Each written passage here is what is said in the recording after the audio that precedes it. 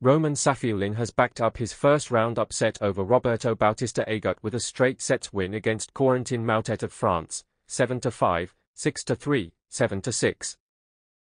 The Russian is now in the third round.